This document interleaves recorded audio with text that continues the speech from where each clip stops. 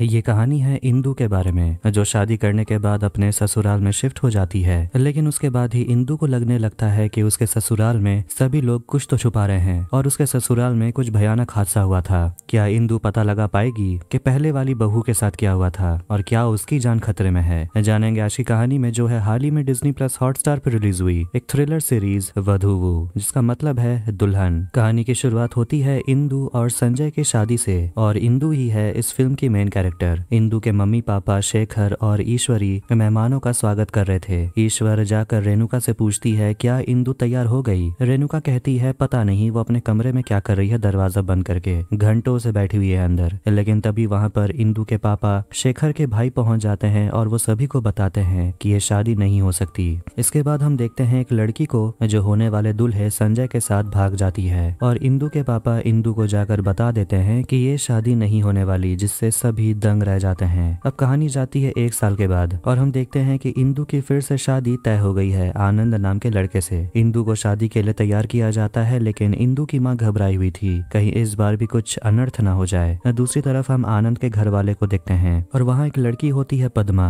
जो आनंद और उसके भाई आर्या की चचेरी बहन है और उसके हाथ में चोट लग जाती है और खून बहने लगता है, जिससे वो लोग चिल्लाने लगते हैं और आनंद की माँ पदमा पर बहुत गुस्सा करती है और कहने लगती है कि इस लड़की के वजह से ही मेरे बेटे की शादी तीन बार टूटी है। इंदू के पापा शेखर अपनी बेटी को दुल्हन की तरह सजा हुआ देखकर बहुत ज़्यादा खुश होते हैं। लेकिन इंदू कहने लगती है कि पिछले साल जो हुआ, कहीं वो लड़के वालों को पता न चल जाए, नहीं तो हमारी नाक कट जाएगी। और हम देखते हैं कि दूल्हे के साथ असली में इंदू की बहन भानु भाग गई थी। फिर आखिर में वहाँ आनंद के परिवार पहुँच जाते हैं। मतलब कि आनंद का भाई, आर्या और उसकी बहन स्नेहा, वो सभी शगुन का सामान देने के लिए आए थे। और आर्या ऊपर खिड़की पर अपने होने वाली भाभी इंदू को देखता है। फिर शगुन का सामान देकर आर्या और उसकी बहन स्नेहा वहाँ से चले जाते हैं। शेखर का नौकर उसे कुछ दिखाना चाहता है, फिर वो लोग किचन में आते हैं, जहाँ दूल्हे के घर से आया शगुन का सामान रखा हुआ था और उसमें कटहल था और नौकर दिखाता है कि यह कटहल सिला हुआ है। जब उस कटहल को वो काटते हैं तो अंदर एक पत्ता था, लेकिन कोई नहीं समझ पा रहा आखिर ये पत्ता कौन से पेड़ का है। उन्हें लग रहा होता है कि ये शगुन नहीं अब शगुन है। कोई ऐसे कटहल के अंदर पत्ता क्यों रख के भेजेगा? शेखर आनंद की माँ को कॉल करता है और उनसे कटहल के बारे में पूछता है, जिस पर वो कहने लगती है कि कटहल हमारे ऑर्गेनिक फार्म का ही है, बहुत टेस्टी है, लेकिन शेखर कहता है कि कटहल सिला हुआ है, जिस पर आनंद की माँ भी घबरा जाती है और अकेले में बात करने जाती है और सोचती है कि ऐसा कैसे हो सकता है। शेखर भी यही कहते हैं कि कटहल के अंदर एक पत्ता भी है। आनंद की माँ थोड़ी घबरा गई थी और वो कहती है, आप उस कटहल को तुरंत फेंक दीजिए, मैं नया भेजवाती हूँ। शेखर का नौकर उस कटहल को ले जाता है फेंकने के लिए और वो लोग इस बारे में इंदू को नहीं बताना चाहते थे, लेकिन उनको नहीं पता कि इंदु उन लोगों की बातें सुन लेती है। आनंद की माँ बहुत ज़्यादा गुस्से में थी, और वो सभी नौकरों से पूछती है कि आखिर कटहल को सिल कर अंदर एक पत्ता रखकर किसने भेजा। तभी उसे याद आता है कि पद्मा की उंगली जब कट गई थी तो उसके पास एक सुई भी थी।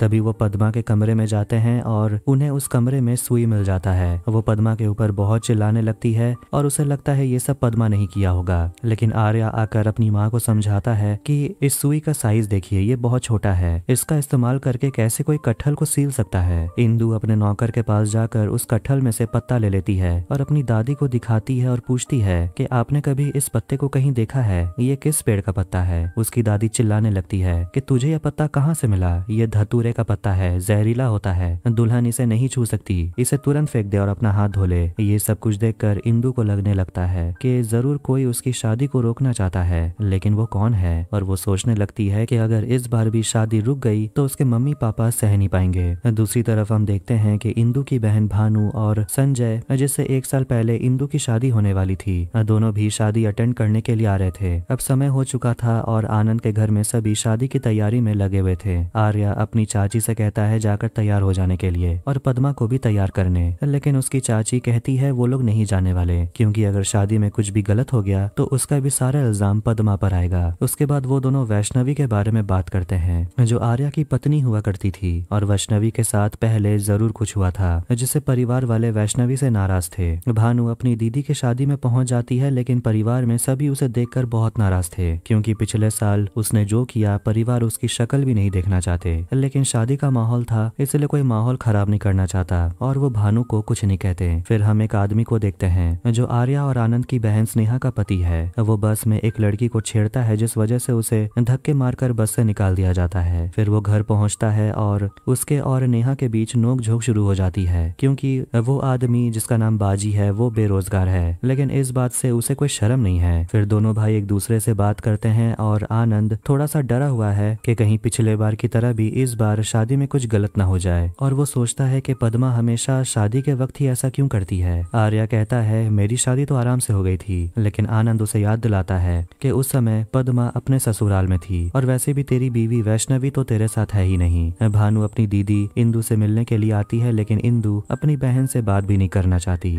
अब हम शादी के सीन को देखते हैं। आनंद मंडप पर बैठा होता है और सभी किसी न किसी बात को लेकर थोड़े टेंशन में थे। शेखर और ईश्वरी को पता लगता है कि इंदु अपने कमरे में नहीं है। आनंद की बहन पद्मा खाना नहीं खा रही थी, लेकिन उसकी माँ उसे कहती है, शादी का खाना है, मना नहीं करते। पद्मा कहती है तो क्या आनंद की शादी हो गई? आनंद काफ़ी टेंशन में था, क्योंकि इंदु नहीं आ रही थी। पद्मा कहने लगती है कि इंदु इस घर में नहीं आ सकती। उसके साथ भी वही होगा जो वैष्णवी के साथ हुआ। फिर मंडप पर इंदु को बुलाया जाता है और इंदु संजय को देखे ही जा रही थी, जो आनंद भी नोटिस करता है। शादी हो जाने के बाद आर्या अपने भैया आनंद को बताता है कि वो आदमी कोई और नहीं, बल्कि इंदु की बहन का पति है। लेकिन कुछ समय पहले इंदु गायब हो गई थी तो वो मिली कैसे? देखते हैं, वो एक कमरे में बंद हो गई थी। उस कमरे को खोलता है आर्या, और इंदु उसे बताती है, किसी ने मुझे यहाँ बात करने के लिए बुलाया, लेकिन कमरे को किसी ने बंद कर दिया। पर आपको कैसे पता कि मैं यहाँ पर थी? संजय और भानु वहाँ जाकर फ़ोटो खिंचवाते हैं, फिर सभी घर में आराम कर रहे थे और हम देखते हैं कि स्नेहा का पति पद्मा को देख रहा था, जो सो रही थी। फिर वहाँ पद्मा की बेटी आती है और उनसे कहती है यहाँ से जाने के लिए। इंदु अपने कमरे में होती है तभी वो अपने खिड़की के बाहर किसी को देखती है और वो बाहर जाती है चेक करने के लिए कि आखिर वहाँ था कौन। फिर वहाँ आर्या आ जाता है और इंदु उसे बताती है यहाँ पर कोई तो था। तभी इंदु के पैर में सुई चुभ जाती है, जिस पर आर्या कहने लगता है। लगता है ये वही सुई है, जिससे कटहल को सीला गया था। आनंद की माँ घर में सभी लोगों से कह देती है कि दुल्हन को इस घर के राज के बारे में नहीं पता चलना चाहिए। तो वहीं इंदु के मम्मी पापा बात कर रहे होते हैं कि भानु को शादी का कार्ड किसने भेजा?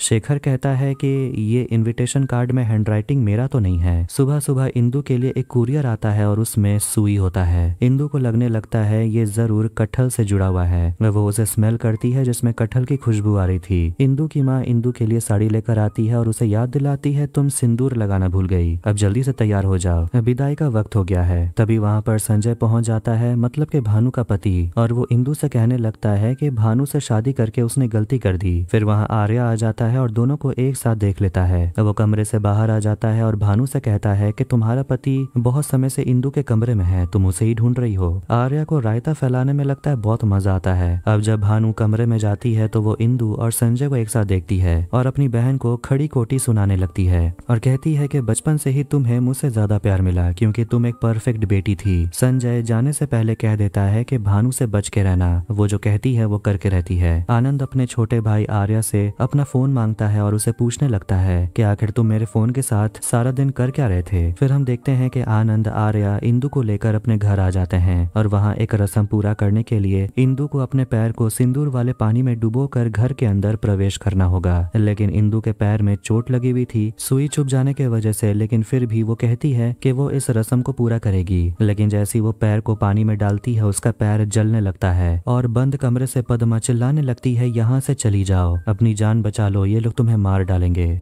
फिर हम एक फ्लैशबैक सीन देखते हैं। पद्मा का शादी के बाद पहला दिन था और वो अपने ससुराल में किचन में खीर बनाने वाली थी। लेकिन उबलते हुए दूध को देखकर वो बहुत ज़्यादा घबरा जाती है और वो अपने घर जाना चाहती थी, लेकिन उसके दोनों भाई आर्या और आनंद पद्मा को धमकाते हैं कि अगर तुम उस घर में गई तो तुम्हारा जीना बेहाल हो जाएगा। क्या तुम फिर भी उस घर में जाना चाहती हो? तुम्हें पता है ना उस घर में होता क्या है? और फिर जो होना था वही हुआ। पद्मा अपने ही घर में एक ही कमरे में हमेशा बंद रहती थी। स्नेहा अपने भाभी यानी कि इंदू के पैर पर मरहम लगाती है और कहती है, मेरी ही गलती थी। मुझे पानी चेक कर लेना चाहिए था। और वो अपने भैया यानी के आनंद के बारे में बात करने लगती है कि अगर आपका पैर ठीक नहीं हुआ तो आनंद गुस्सा हो जाएँगे और उनके गुस्से को शांत करना बहुत मुश्किल होता है। लेकिन आप आ गई हैं तो उनका गुस्सा भी कम हो जाएगा। इंदु पूछती है, आखिरी बार आपके भैया गुस्सा कब हुए थे? फिर स्नेहा उस दिन को याद करती है जब आनंद पदमा पर बहुत गुस्सा हो गया था और वो कहने लगता है कि अगर वो एक मिनट भी इस घर में रहती है तो मैं इसे मार दूँगा। इंदु पूछती है है, उस औरत ने मुझसे कहा था, इस घर से चली जाओ। वो कौन थी? स्नेहा घबराने लगती है। इंदू कहती है कि, मैं घर में सबसे मिल चुकी हूँ, लेकिन उस औरत से मैं नहीं मिली। स्नेहा कहती है, वो हमारी चचेरी बहन है। उसे बचपन से कुछ प्रॉब्लम है, इसीलिए वो ऐसी अनाप शनाप बातें करती है। दूसरी तरफ़ सभी पद्मा के ऊपर गुस्सा हो रहे थे कि इंदू के गृह प्रवेश के समय पद्मा को चिल्लाने की क्या ज़रूरत थी। खासकर आनंद बहुत ज़्यादा गुस्सा था। स्नेहा कमरे में आती है और दरवाज़ा बंद कर देती है। आर्या कहने लगता है, दरवाज़ा बंद करके कितनी बात हम इंदू से छुपाएँगे। दूसरी तरफ़ इंदू कमरे के बाहर आ जाती है और एक नौकरानी उसे देख लेती है। इंदू उसे कहती है, मुझे वो बर्तन चाहिए जिसमें मैंने पैर रखा था। उसमें मेरी बिछिया गिर गई है। दोनों भाई प्लान बनाते हैं पद्मा को वो घर के पीछे वाले स्टोर रूम में बंद कर देंगे, क्योंकि वो बात बात पर चिल्लाने लगती है। इंदू उनकी बातें सुन रही थी, लेकिन इंदू को नहीं पता कि स्नेहा का पति बाजी उसे देख रहा था। नौकरानी इंदू के कमरे में वो बर्तन लेकर आती है और इंदू देखती है कि उस बर्तन में लाल मिर्च पाउडर मिला हुआ था। और वो नौकरानी से पूछने लगती है, पता है ना कि अगर आनंद को पता चल गया तो वो कितना गुस्सा होगा? मेरे लिए पता लगाओ कि लाल मिर्च पाउडर किसने मिलाया? आनंद की माँ नौकरानी को बर्तन ले जाते हुए देख लेती है। तो नौकरानी बता देती है कि नई बहू रानी ने कहा था लाने के लिए, और उन्होंने ही कहा, इसमें कुछ मिला हुआ है। आर्या से उसकी माँ कह देती है कि नई बहू रानी आते ही अपना दिमाग चलाने लगी है। पता करो कि आखिर वो चाहती क्या है। इंदू को संजय का मैसेज आता है जिसमें उसका वॉइस मिल था। संजय कहता है, भानु पागल हो गई है, और तुम्हारे साथ पिछले साल जो कुछ भी हुआ, वो तुम्हारे पति को वो बता देगी। तभी वहाँ आर्या आ जाता है और वो अपने भाभी को कह देता है कि आपको ज़्यादा डिटेक्टिव बनने की ज़रूरत नहीं है। उस पानी में जो कुछ भी था, शायद वो स्नेहा ने किया होगा। इंदू कहती है तो इसका मतलब स्नेहा ने ही लाल मिर्च पाउडर मिला दिया। फिर दोनों भाई घर में चल रहे चीज़ों के बारे में बात कर रहे थे। तभी वहाँ उनके जीजा जी बाजी आते हैं और वो दोनों भाई से कहते हैं, टेंशन लेने की ज़रूरत नहीं है। आर्या अपने भैया को बताता है कि संजय और भाभी का कुछ तो चल रहा है और इसलिए भानु आपसे मिलना चाहती है। आनंद को डर है कहीं उसकी शादी का हाल भी आर्या और वैष्णवी के जैसा ना हो। सुबह में इंदू पूजा कर रही थी और उसकी सास उसे कहती है, बड़ी बहू होने के नाते अब से तुम ही सुबह पूजा करोगी। और यहाँ की बात अपने घर वालों को बताने की ज़रूरत नहीं है। वो इंदू को याद दिलाती है कि आज अमावस्या की रात है। कुछ भी हो जाए, अपने पति को अपना चेहरा मत दिखाना। आज की रात स्नेहा तुम्हारे साथ सो जाएगी। लेकिन फिर भी इंदू और आनंद एक दूसरे को देखते हैं और एक दूसरे से बात करते हैं संजय के बारे में। और इंदू गुस्सा होकर वहाँ से चली जाती है। इंदू के साथ स्नेहा सो रही थी और स्नेहा को उसके पति का कॉल आ रहा था। स्नेहा कहती है शादी कितने साल बाद भी वो मेरे बिना नहीं सो सकते इंदू कहती, है, ये तो अच्छी बात है। लेकिन मांजरा तो कुछ और है। देखते हैं कि सोने से पहले स्नेहा का पति उसे ज़बरदस्ती कहता है कि सभी के सो जाने के बाद वापस अपने कमरे में आ जाने। इसलिए उसका पति बार बार कॉल कर रहा था। फिर कुछ समय के बाद जब सभी लोग सो जाते हैं तो आधी रात में इंदू कमरे के बाहर चली जाती है और स्टोर रूम में जाकर पदमा से मिलती है। पदमा उसे देखकर रोने लगती है और बेहोश हो जाती है। इंदू घर के हॉल में किसी को घूमते हुए देखती है। इस बीच सभी स्नेहा के कमरे में जाकर देखते हैं, स्नेहा को किसी ने गला दबाने की कोशिश की और उसकी माँ उसे पानी पिलाती है और सभी बहुत घबराए हुए थे कि आखिर ये सब हुआ कैसे? आर्या देखता है कि यहाँ तो इंदू है ही नहीं। स्नेहा कहती है, जब मेरी आँख खुली तो इंदू यहाँ पर नहीं थी। वो सभी बाहर इंदू को देखते हैं जो घर के बाहर गई थी और आनंद उसे पूछता है, तुम घर के बाहर क्या करने गई थी? इंदू कहती है, कोई घर से बाहर अंदर आ गया था और वो मुझे देखकर यहाँ से भाग गई। आर्या कहता है, पर मैंने तो दरवाज़ा अच्छे से बंद कर दिया था। आनंद को लग रहा था कि इंदू संजय से मिलने के लिए गई थी। बाजी वहाँ आकर कहता है, फ़िलहाल ये जानना ज़रूरी है कि स्नेहा को मारने की कोशिश किसने की? कोई घर वाला तो ये करेगा नहीं, और ऐसा ज़रूरी भी नहीं है कि वो स्नेहा को ही मारने आया था, क्योंकि वो कमरा इंदू का है। हो सकता है वो इंदू को मारने के लिए आया हो। अगली सुबह इंदू को अपनी बहन भानु की कही गई बातें याद आती हैं कि वो उसे खुशी से, चैन से जीने नहीं देगी। वो तुरंत अपनी माँ को कॉल करती है और उसकी माँ भी कहती है कि कल रात भानु और उसके पति संजय की लड़ाई हो गई थी और गुस्से में ही कल रात वो घर छोड़कर चली गई। इसलिए इंदू को लगने लगता है कि भानु ही कल रात आई होगी उसे मारने के लिए, लेकिन वो सोचने लगती है तो फिर दरवाज़ा किसने खोला होगा? आधी रात में वो आर्या से मिलती है और उसे कहती है, कल रात ड्राइंग रूम की लाइट जली हुई थी, वहाँ पर कौन था? आर्या बात छुपाता है, लेकिन इंदू को लगता है कि उस कमरे में कोई तो रहता है। वो उसे बता देती है कि मैं ऊपर गई थी तुम्हारी बहन पदमा से मिलने के लिए। अपनी भाभी से कहता है कि आप तो कुछ ही दिन में घर के बारे में सब कुछ जान गई हैं। इंदू उसे कहती है, तुमने सही कहा था कि मैं डिटेक्टिव हूँ। ये सारी बात जाकर वो अपने बड़े भाई आनंद को बताता है, जो काफ़ी गुस्सा होता है। इंदू किचन में जाकर नौकरों की मदद कर रही थी और एक नौकरानी कल रात जो कुछ भी हुआ उसके बारे में बात करती है और वो कहती है कि मैंने सभी को कहते हुए सुना कि बड़ी बहुरानी भी छोटी बहुरानी की तरह झूठ कहती है। इंदू हैरान हो जाती है कि इस घर की कोई छोटी बहू भी है। मतलब कि आर्या शादीशुदा है। है। ये सुनकर नौकरानी घबराने लगती है और कहती है, किसी को बताइएगा मत कि आपको ये मुझसे पता चला है। इंदु उस नौकरानी से और सवाल पूछने लगती है, तब जाकर वो नौकरानी वैष्णवी के बारे में उसे बताती है कि एक महीने पहले उसे इस घर से निकाल दिया गया था। वो बहुत सुंदर थी, लेकिन उसका एक लड़के के साथ चक्कर चल रहा था और वो पेट से भी थी,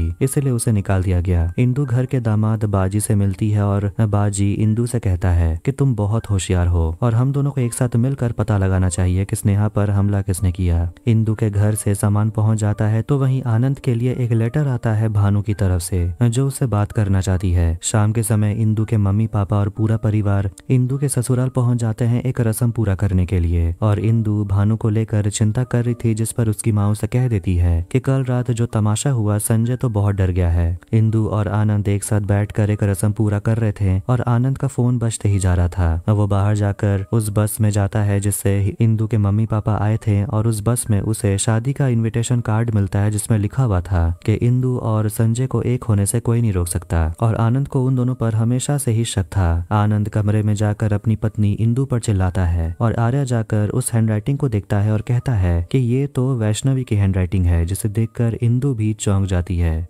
फिर हम कुछ पुलिस ऑफिसर्स को देखते हैं जो एक घर के अंदर जाते हैं और उन्हें एक औरत की लाश मिलती है, पंखे से लटकती हुई। और ये लाश किसकी है, ये भी कहानी के बाद में पता चल ही जाएगा। फिर कहानी शिफ्ट होती है इंदु पर, जो अपनी माँ को कॉल करती है और कहती है, भानु को जो इन्विटेशन कार्ड भेजा गया था, उसकी फ़ोटो भेजने के लिए। जब वो उस फ़ोटो को देखते हैं तो उन्हें पता चलता है कि उस कार्ड में भी जो हैंडराइटिंग है, वो वैष्णवी की ही है। आर्या घबराने लगता है और उसे लगने लगता है कि इस सब के पीछे वैष्णवी है। वो सबको बर्बाद करने के लिए लौट आई है और वो कहता है, मैंने उसे घर से बाहर निकाल दिया। इसलिए वो मुझसे बदला लेने के लिए आई है, क्योंकि उसने मुझे धोखा दिया था। इंतु पूछती है, वो तुमसे बदला लेना चाहती है? तो वो मुझे परेशान क्यों कर रही है? आखिर मैंने किया क्या है? इंदु वैष्णवी से मिलना चाहती है, लेकिन आर्या मना कर देता है, और वो गुस्से में अपना हाथ पटकने लगता है और इंदु उसे संभालती है, और उन दोनों को करीब देखकर आनंद को काफ़ी जलन महसूस होता है, और आनंद हमेशा से ही अपने छोटे भाई को दूध का धुला हुआ तो नहीं मानता था। घर में सभी लोग घबराने लगते हैं क्योंकि घर में दोबारा से वैष्णवी की बातें होना शुरू हो गई थी। अगले दिन आर्या को उसकी माँ कहती है कि किसी भी कीमत पर इंदु को वैष्णवी से मिलने मत देना, फिर हम उस नौकरानी को देखते हैं जो इंदु को जाकर बता देती है कि आपको अगर वैष्णवी से मिलना है तो उनका एड्रेस आपको आर्या के कमरे में ही मिलेगा। वैष्णवी अपना कोई भी सामान लेकर नहीं गई थी, और सारा सामान आर्या के कमरे में ही है। इंदु कमरे में जाकर चेक करने लगती है और वो नौकरानी बाहर खड़ी हुई थी। इंदु को अलमारी में से एक फ़ाइल मिलती है तो वहीं आर्या की मम्मी उस नौकरानी से पूछती है कि तू यहाँ खड़े खड़े कर क्या रही है? और वो आर्या के कमरे को खुला हुआ देखकर दोबारा से छिटकनी लगा देती है, लेकिन उसके जाते ही नौकरानी दोबारा से दरवाज़ा खोल देती है, और इंदु से कहती है बाहर आ जाने के लिए। इंदु को उस फ़ाइल में से वैष्णवी का एड्रेस मिलता है और वहाँ जाने के लिए वो निकलती है, लेकिन जैसी वो ऑटो में बैठने वाली थी, वहाँ उसे वैष्णवी नज़र आती है और वो इंदु को एंजल ट्रम्पेट और डेविल्स ट्रम्पेट के बारे में बताती है और अचानक वहाँ से गायब हो जाती है। घर में सभी पागल हुए जा रहे थे कि आखिर इंदु कहाँ चली गई। आनंद अपनी बड़ी बहन पद्मा पर गुस्सा कर रहा था कि इंदु भी वैष्णवी की तरह ही निकली। पद्मा हँसते हुए कहती है, तुम लोगों के साथ यही होना था। इंदु वैष्णवी का घर पहुँच जाती है लेकिन घर पर ताला लगा हुआ था और पास में रहने वाली एक औरत कहती है, उस घर में अब कोई नहीं रहता। वो लोग कहाँ गए हैं, नहीं पता। आनंद की माँ पागल हुए जा रही थी कि आखिर उसकी नई बहू रानी कहाँ गायब हो गई। दूसरी तरफ़ आनंद इंदु की बहन भानु से बात करता है कि, तुमने मुझे वो कार्ड क्यों भेजा? तुम मुझे क्या बताना चाहती थी? भानु कहती है, मैं तो संजय के साथ खुश हूँ। मैं भला तुमसे क्यों बात करना चाहूँगी? आर्या कहता है, वो हैंडराइटिंग वैष्णवी की थी। भानु कहती है, कुछ भी हो जाए, तुम अपने पत्नी को संजय के पास आने मत देना। आर्या भानु से बात करता है और उसे पता चलता है कि परसों रात न भानु न संजय उनके घर आधी रात में आए थे। वो जाकर अपने भैया से पूछता है कि अगर भानु उस रात नहीं आई तो आपके कमरे में उस रात कौन था? तभी उनके घर पर तीन पुलिस वाले आते हैं और उसी वक्त इंदु भी घर में पहुँच जाती है और पुलिस वाले बताते हैं कि कल रात वैष्णवी की मौत हो गई, जिससे सभी हैरान हो जाते हैं और वैष्णवी की बॉडी मुर्दा घर में है।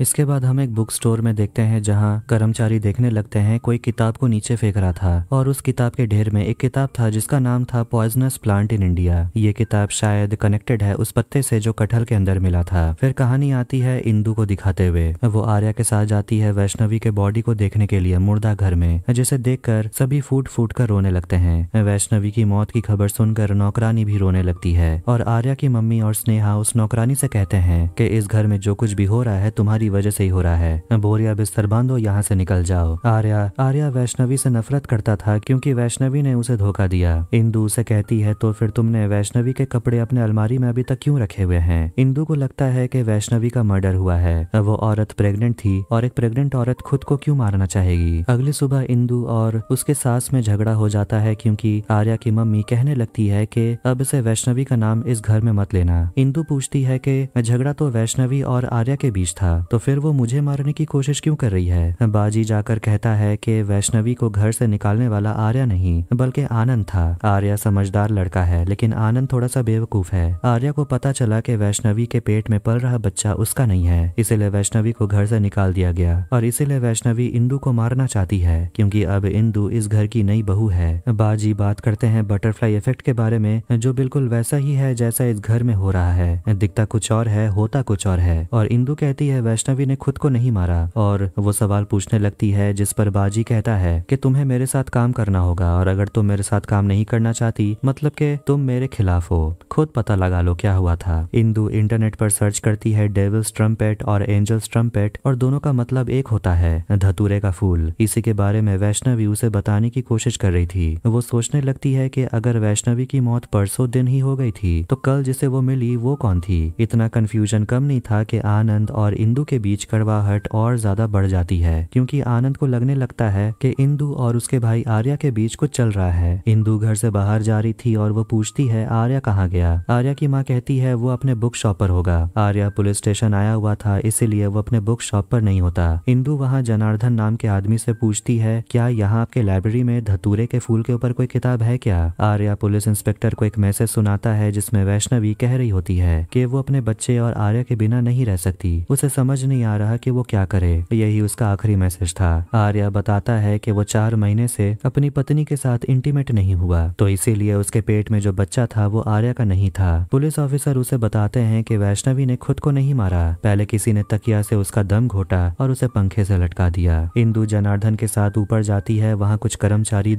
काम कर रहे थे जो बोड़ी सिल रहे थे और उनके पास वैसा ही बड़ा सा सुई था। शायद इसी से कटहल को सीला गया होगा। पुलिस ऑफिसर बताते हैं कि पोस्टमार्टम से ये बात सामने आई है कि वैष्णवी के पेट में धतूरे के पत्ते का जहर मिला और लाइब्रेरी में इंदु को धतूरे के फूल वाला किताब मिल जाता है। आर्या घर में आकर सभी को बता देता है कि वैष्णवी का मर्डर हुआ है। इंदू अपने घर आ रही थी तभी वो फिर से उसी औरत को देखती है जो शायद वैष्णवी है और इंदू उसका पीछा करने लगती है और वो एक घर पहुँचती है और बेल बजाती है, लेकिन वो औरत वहाँ अकेले रहती थी और वो कहती है, यहाँ कोई और नहीं रहता। लेकिन जब इंदू वैष्णवी का नाम लेती है तो वो औरत उसे पूछती है की, आप वैष्णवी को कैसे जानती है? इंदू बताती है की, वैष्णवी मेरी देवरानी है। क्या आप मुझे उसके बारे में कुछ बता सकती है? तो वो औरत बताने लगती है की ये घर असली में गर्ल्स हॉस्टल है। दो महीने से वैष्णवी यहीं रह रही थी और एक बुक शॉप के मालिक ने वैष्णवी से हमें मिलाया था। तो वो बहुत ही अच्छी लड़की थी, खुद को संभालना जानती थी, बहुत शर्मीली थी। पता नहीं आखिरी वक्त में उसके मन में क्या चल रहा था। आर्या और आनंद का परिवार पुलिस स्टेशन आए होते हैं वैष्णवी के केस में इंट्रोगेशन के लिए। आर्या अपनी बहन से कहता है, नौकरानी को भी यहाँ बुलाने के लिए। क्योंकि अगर वो यहाँ नहीं होगी तो पुलिस को शक हो जाएगा। पूछताछ के दौरान आनंद कबूल करता है कि उसी ने वैष्णवी को घर से बाहर निकाला था। अपनी भाई की ज़िंदगी बचाने के लिए, क्योंकि वैष्णवी का अफेयर चल रहा था, लेकिन किससे चल रहा था ये नहीं पता। फ्लैशबैक में देखते हैं, जब आर्या को अपनी पत्नी का असलियत पता चल जाता है, वो अपनी पत्नी का गला दबाने लगता है, आनंद आकर दोनों को अलग करता है। एक दिन आनंद आकर अपनी माँ से कहता है, वैष्णवी को डॉक्टर के पास ले जाना होगा। लेकिन उसकी माँ मना करती है और कहती है कि वैष्णवी ऐसे ही नाटक कर रही होगी, उसे काम करने का मन नहीं है। इसीलिए आनंद डॉक्टर को घर बुलाता है और पता चलता है कि वैष्णवी प्रेग्नेंट है। आर्या से पूछताछ के दौरान पुलिस ऑफिसर उसे पूछते हैं कि वैष्णवी के साथ तुम्हारा फ़िज़िकल रिलेशन क्यों नहीं था? आर्या कहता है, नए बिज़नेस के वजह से उसे ज़्यादातर समय बाहर रहना पड़ता था। और इसीलिए जब वैष्णवी प्रेग्नेंट हुई तो आर्या समझ गया कि ये बच्चा उसका नहीं है। नौकरानी का फ़ोन नहीं लग रहा था तो वही इंदू जाकर बताती है कि वो नौकरानी मेरे घर पर है। आपके घर से निकाले जाने पर उसे समझ नहीं आ रहा था कि वो कहाँ जाए। इसलिए वो मेरे घर पे रह रही है। फिर वो अकेले में आर्या से बात करती है और उसे कहने लगती है कि जब से मैं शादी करके इस घर में आई हूँ, यहाँ हर रिश्ता मुझे एक सवाल जैसा लगता रहता है। कुछ ना कुछ अजीब होते ही रहता है। वो सोचने लगती है कि ये सारी चीज़ें या तो उसे डराने के लिए किया जा रहा है या तो उसे बचाने के लिए। वो अभी तक परिवार वालों को समझ नहीं पाई है कि सभी इतना अजीब बर्ताव क्यों करते हैं, जैसे कि वो कुछ छुपा रहे हो। लेकिन घर का सबसे बड़ा मिस्ट्री है आर्या। और इंदु को वो हॉस्टल वाली औरत से पता चला कि वैष्णवी को हॉस्टल में लाने वाला कोई और नहीं, बल्कि आर्या था। और बुक शॉप से जो सुई गायब हुई थी, वो इंदु को गिफ्ट करने वाला आर्या ही था। कटहल को सिलने वाला भी आर्या था। और उसी जहरीले पत्ते के वजह से वैष्णवी की मौत हुई और वो आर्या से पूछती है कि आखिर तुमने ऐसा क्यों किया? लेकिन आर्या उसे कहता है, मेरे खिलाफ तुम्हारे पास कोई सबूत नहीं है। इंदु कहती है, समय के साथ सच बाहर आ ही जाएगा। उसके बाद पुलिस स्टेशन से पूरे परिवार को जाने दिया जाता है और आर्या इंदु को चुनौती देता है कि अगर वो सच का पता लगा सकती है तो लगा ले, लेकिन वो पता नहीं लगा पाएगी। लेकिन इंदु सच का पता लगा कर ही दम लेगी और इसी के साथ वधुवु सीज़न वन यहीं पर खत्म हो जाती है। अभी भी रहस्य का पता नहीं लग पाया। शायद सीज़न टू में पता लगेगा। खैर, आपको ये वीडियो कैसा लगा कमेंट करके ज़रूर बताएँ। वीडियो पसंद आए तो वीडियो को लाइक करें चैनल को सब्सक्राइब करें। मिलते हैं नेक्स्ट वीडियो में। Take care